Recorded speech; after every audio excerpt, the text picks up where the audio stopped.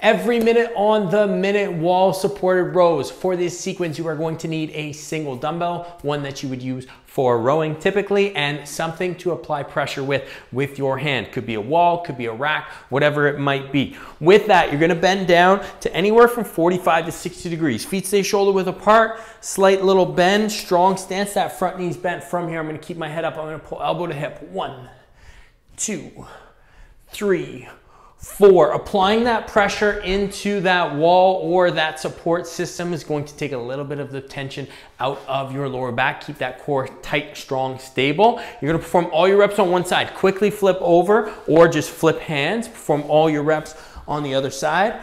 Same thing, just like so. It's an every minute on the minute sequence. So you're gonna start a timer, perform all your rows on one side, all your rows on the other side.